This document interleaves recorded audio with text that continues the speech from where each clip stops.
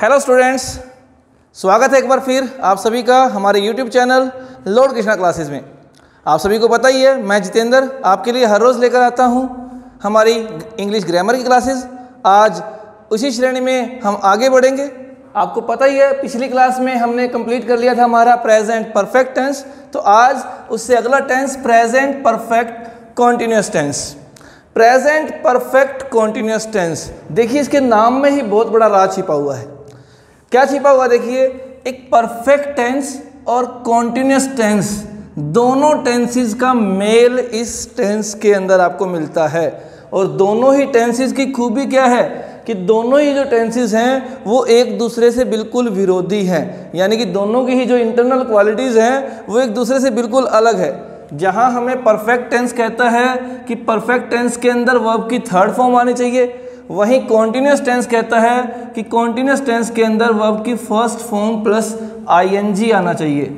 अब देखिए, ये इंग्लिश जिस किसी ने भी इंग्लिश ग्रामर को बनाया था, ये उसकी बहुत बड़ी कलाकारी थी कि उसने ऐसी दो चीज़ों को जोड़ दिया जो दोनों चीज़ें एक दूसरे को बिल्कुल भी सेटिस्फाई नहीं कर रही हैं। यानी कि परफेक्ट और कॉन्टीन्यूस टेंस का मेल कर कर एक टेंस बनाया गया, जिसका नाम क्या रखा गया? प्रेजेंट परफेक्ट कॉन्टीन्यूस टेंस अब क्या खूबी है इस टेंस के अंदर? इस टेंस के अंदर क्या है एक्चुअल देखो एक्चुअल में इस टेंस के अंदर आपको बताया जाता है कि कोई भी ऐसा काम जो पास्ट में शुरू हुआ था, यानी कि परफेक्शन उसका परफेक्शन टाइम हमें पता है कि वो पास्ट के अंदर शुरू हुआ था, और वो काम अभी भी कंटिन्यू है। इसलिए क्या है, वो प्रेजेंट परफेक्ट कॉन्टिन्यूस कॉन्टिन्यू हो रहा है वो सेंटेंस हमारा। वो जो भी काम है हमारा, वो कंटिन्यू चल रहा है। तो यहाँ से सबसे पहले हम वही देखेंगे कि हमारा जब हिंदी में ये सेंटेंस अगर दिए होंगे हमें इस टेंस के अकॉर्डिंग तो उन सेंटेंसेस के अंदर हमें क्या पहचानने को मिलेगा? क्या मिलेगा?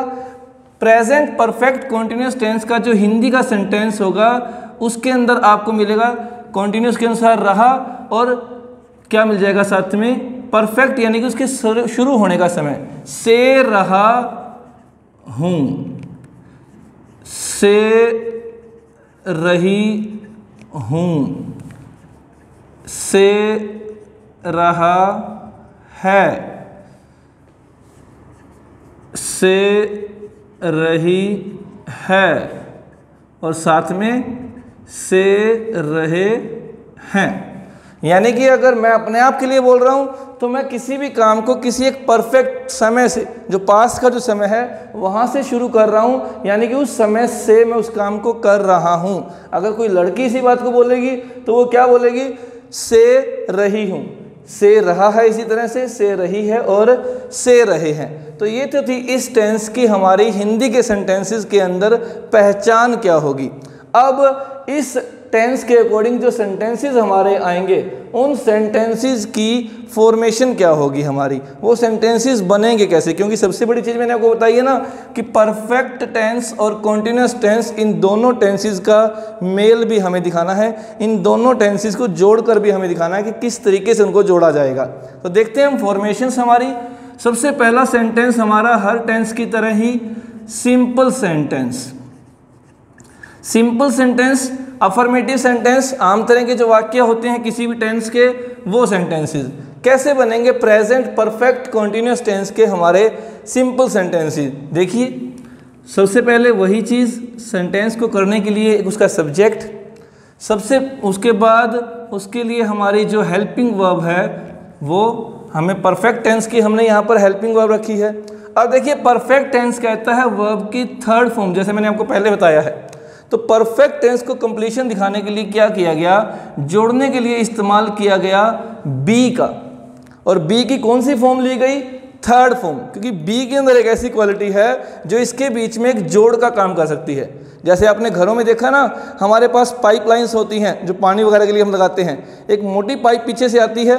अगर उसी पाइप को किसी पतली पाइप से कनेक्ट करना है तो बीच में एक जॉइंट होता है। वो जो ज्वाइंट करने के लिए जो लगाया जाता है हमारा ज्वाइंटर वो क्या होता है? एक तरफ़ से वो चौड़ा होता है, एक तरफ़ से वो भीड़ा होता है और दोनों को जोड़ दिया जाता है और दोनों पाइप्स आपस में कनेक्ट कर जाती हैं, जो आम तौर पर नहीं लगती कि आपस में जुड़ सकती हैं। तो इसी तरह से ये ज्वाइंट पैदा करने के लिए क्या लगाया गया? यहाँ पर बीन लगाया गया है। अब उस बीन ने क्या किया? परफेक्ट टेंस को कम कंप्लीट कर दिया सेटिस्फाई कर दिया। यानी कि परफेक्ट टेंस कहता है कि उसके अंदर हैज़ हैव के साथ वर्ब की थर्ड फॉर्म होनी चाहिए। तो ये देखिए हैज़ हैव प्लस बी की थर्ड फॉर्म क्या है? बी वॉज़ बीन तो परफेक्ट टेंस कंप्लीट हो गया। अब बी के अंदर एक और खूबी है। बी के ही रूप होते हैं is am are was were जो हमने कॉन्टिन्यूस टेंस के अंदर भी किए थे। तो बी के किसी रूप के साथ कंटिन्यूटी वाली वर्ब यानी कि वर्ब की फ़र्स्ट फॉर्म प्लस आईएनजी भी लगाई जा सकती है। तो कॉन्टिन्यूस टेंस यहाँ से कंप्लीट हो जाता है हमारा वी वन प्लस आईएनजी जैसा मैंने आपको बताया था कि कॉन्टिन्यूस टेंस के अंदर वी वन प्लस आईएनजी लगाना होता है। तो देखिए, अब इस बीन ने क्या किया?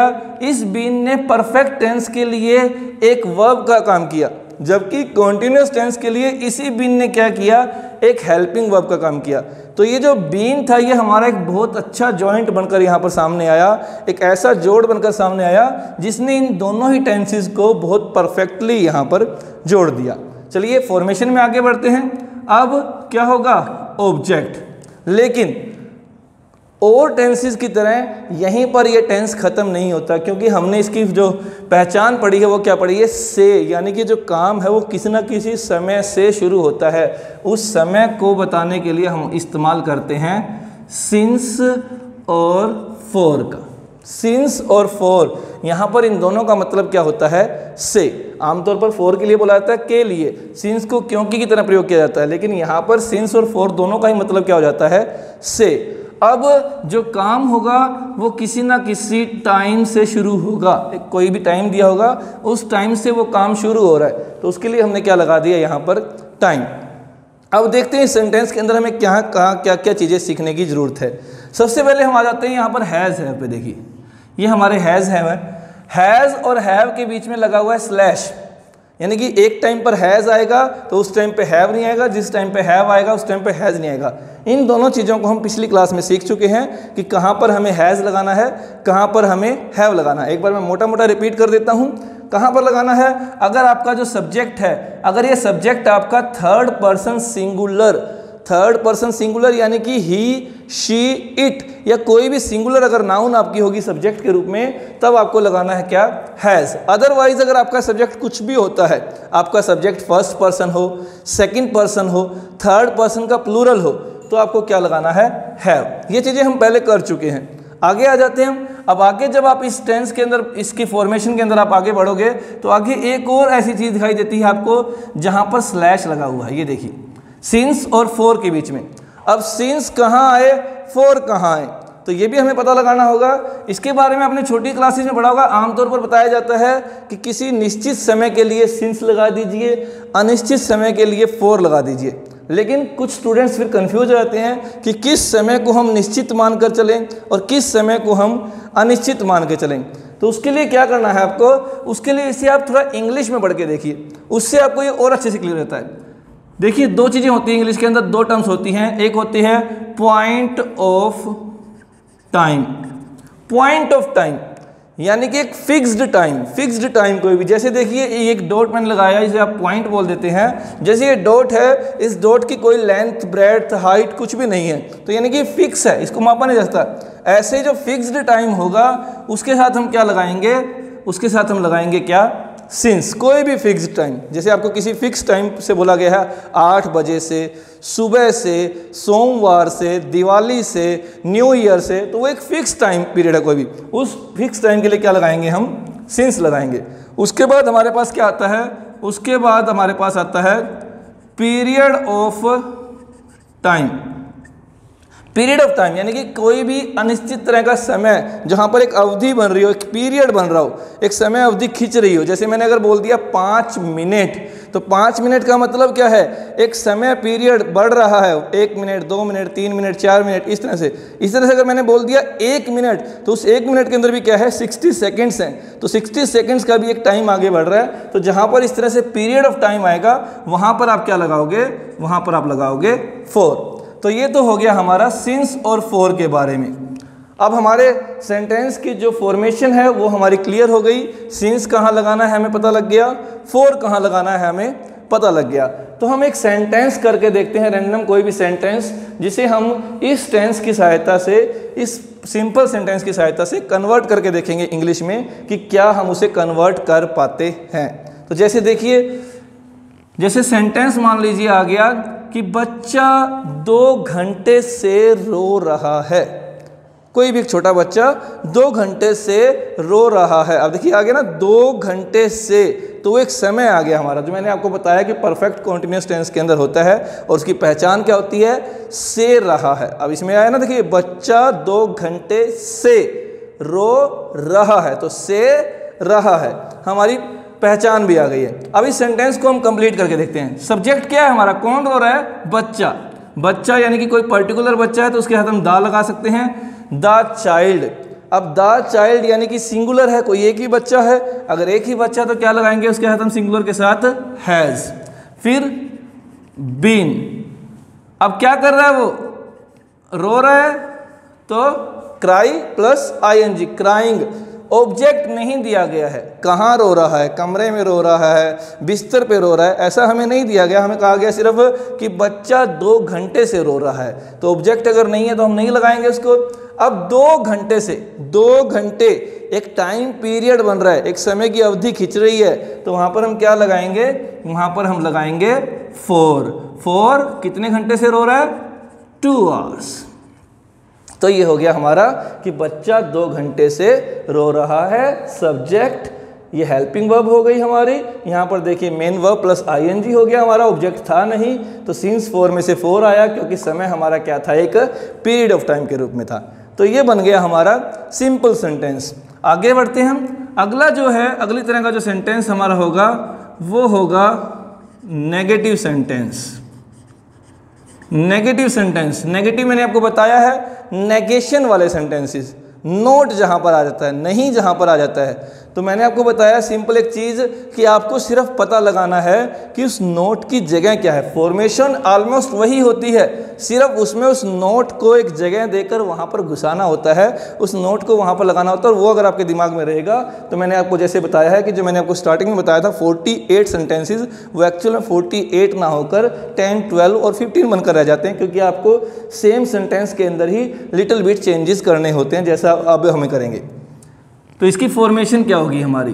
वही ऊपर की तरफ़ देखिए आप सब्जेक्ट प्लस हैज़ और हैव अब मैंने आपको कल, जो पिछली क्लास हमारी थी, उसमें मैंने आपको बताया था कि नोट लगाने की परफेक्ट जगह कहाँ होती है? हेल्पिंग वर्ब के तुरंत बाद. अब देखिए, मैंने यहाँ आपको बताया कि इस परफेक्ट टेंस के लिए ये बीन एक तरह से मेन वर्ब का काम कर रही है. जब ये एक तरह से मेन वर्ब का काम करे तो हमारी हेल्पिंग वर्ब कहाँ तक सीमित हो गई? सिर्फ़ हैज़ और हैव तक तो यानी कि जो हैज़ और हैव आएगा, उसके बाद हम क्या लगा देंगे? Not plus been plus V one और आई एन जी प्लस वही ऑब्जेक्ट प्लस सिंस और फोर प्लस टाइम देखिए, सारा कुछ वही चल रहा है। सिर्फ़ एक नोट को एक स्पेसिफाई करके हमने एक जगह दी है कि किस जगह पे नोट आना है। एग्जैक्ट जगह पर अगर हमने नोट का प्रयोग कर दिया तो हमारा जो सिंपल सेंटेंस था, वो क्या बन जाएगा? नेगेटिव बन जाएगा, जैसा हमने अभी किया है। तो एक रैंडम एग्ज़ाम्पल लेकर हम इसको भी कर सकते हैं। जैसे हमने एक एग्ज़ाम्पल लिया कि वे सुबह से खेल रहे हैं। होता ना, जैसे कई बार बच्चे सुबह से खेले ही जा रहे हैं, बंद ही नहीं हो रहे हैं। तो वे सुबह से खेल रहे हैं, सुबह।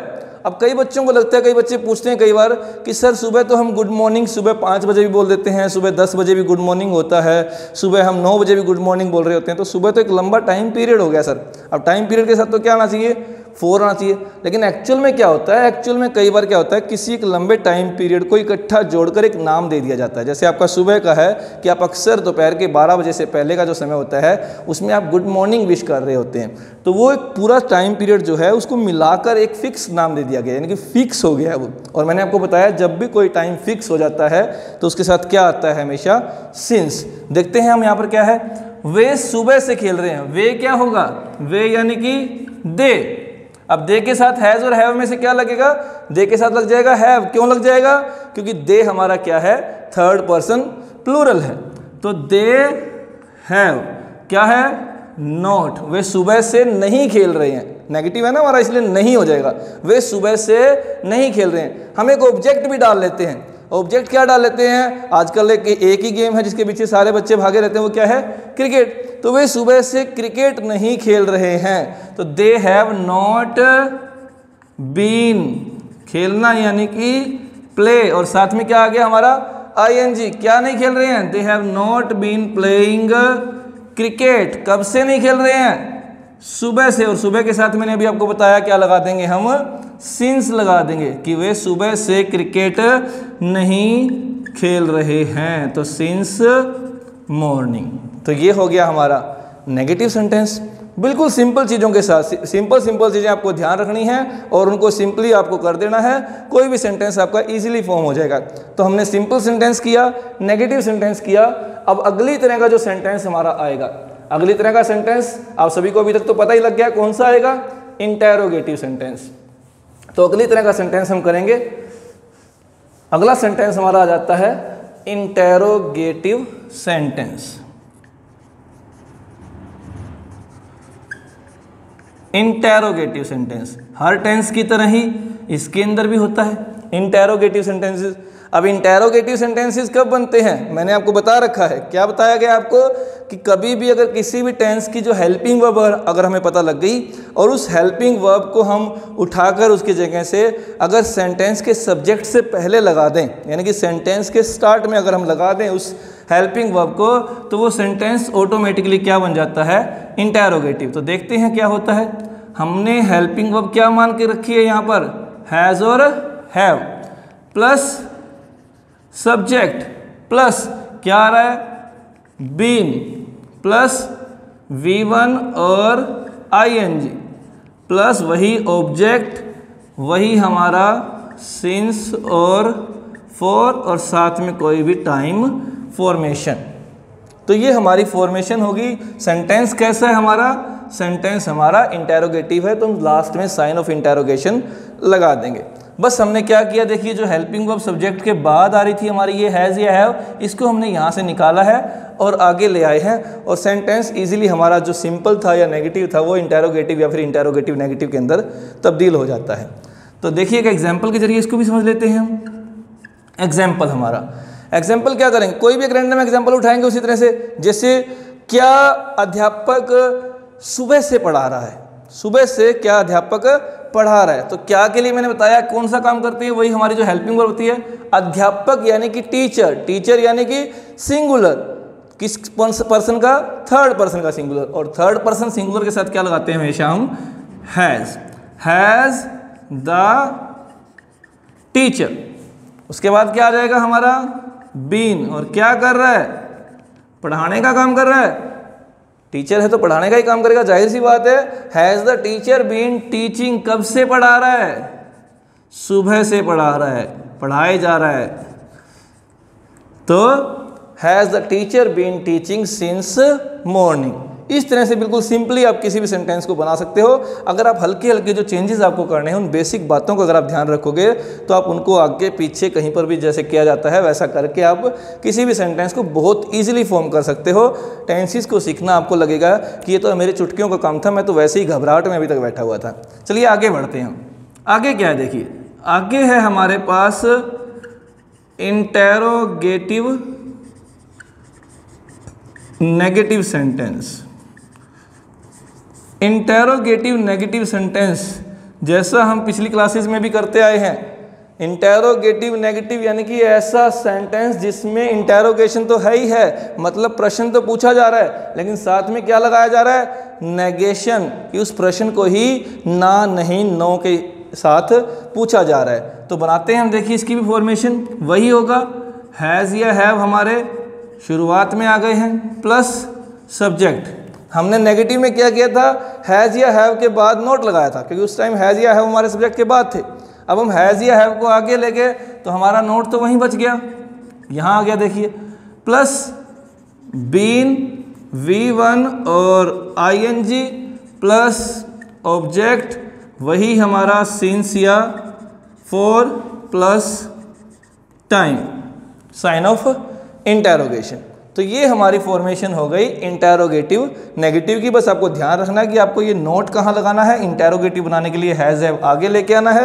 हैज़ हैव क्योंकि सब्जेक्ट के बाद आमतौर पर सिंपल सेंटेंसेस में लगते हैं तो उसको हम यहाँ से निकाल के ले गए तो जो नोट बचेगा वो कहाँ बचेगा सब्जेक्ट के तुरंत बाद। तो ये बन जाएगा हमारा इंटेरोगेटिव नेगेटिव सेंटेंस तो उसी तरीके से हम यहाँ पर भी एक एग्ज़ाम्पल करके देखते हैं, किसी एक सेंटेंस को हम रेंडमली चेंज करके देखते हैं कि क्या हम उसे इस फॉर्मेशन के हिसाब से चेंज कर पाते हैं या नहीं कर पाते हैं। तो एक एग्ज़ाम्पल लेते हैं, क्या हम पाँच दिन से बाहर नहीं निकल रहे हैं? या फिर क्या हम पाँच दिन से बाहर नहीं जा रहे हैं? तो क्या हो जाएगा? हम हम यानी कि फ़र्स्ट पर्सन प्लूरल तो क्या लगेगा? हैव हैव के साथ फिर क्या आ जाएगा? यहाँ पर हमारा सब्जेक्ट क्या था? We have be not been कहाँ नहीं जा रहे हम?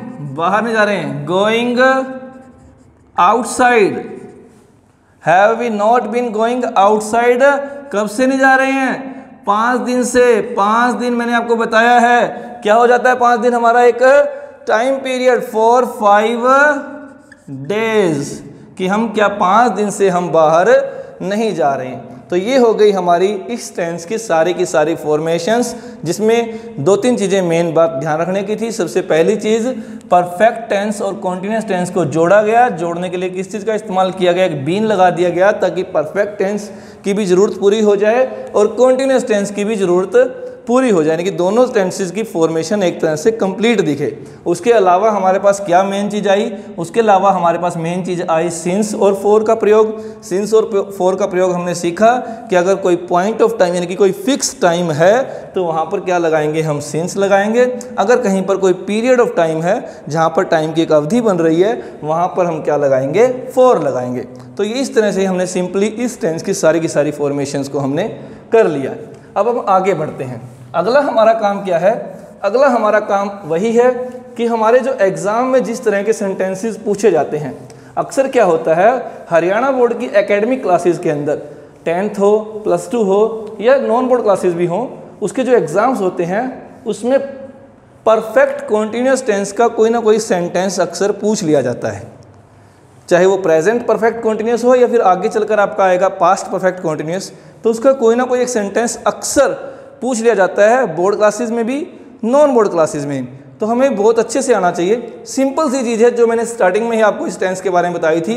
एक ही सिंपल साइज़ का हमारा प्रयोग है, वो क्या है कि अगर कोई भी काम ऐसा है जो पास्ट से शुरू हुआ और अभी तक चल रहा है, किसी में अगर ऐसी झलक मिल रही है किसी काम के अंदर कि जो पास्ट से शुरू होकर अभी तक भी चल रहा है तो वहाँ पर हम क्या लगा देंगे? प्रेजेंट परफेक्ट कॉन्टीन्यूस टेंस अब इसी तरह से आगे जब हमारा आएगा पास्ट परफेक्ट कॉन्टीन्यूस टेंस तो उसकी फॉर्मेशन भी लगभग ऐसी ही होती है, बस उसमें थोड़ा सा चेंज आ जाता है। यूज़ भी लगभग सेम ही होता है। उसमें सिर्फ़ क्या होगा? उसमें होगा कि सेंटेंस वही पास्ट से शुरू होगा कंटिन्यू होगा पास्ट के दौरान ही। यानी कि उस सेंटेंस के अंदर आपको पास्ट से रिलेटेड कोई ना कोई टाइम फ्रेज आपको मिलेगा। अगर पास्ट से रिलेटेड कोई भी टाइम फ्रेज नहीं मिल रहा आपको, और आपको लग रहा है कि वो काम हमारा जो है वो पास्ट से शुरू होकर कंटिन्यूटी में है तो वहाँ पर क्या आएगा? प्रेजेंट परफेक्ट कॉन्टीन्यूस आएगा। जैसे एक एग्ज़ाम्पल के तौर पर हम कर लेते हैं सीधा। हमारा एग्ज़ाम्पल क्या बन जाएगा?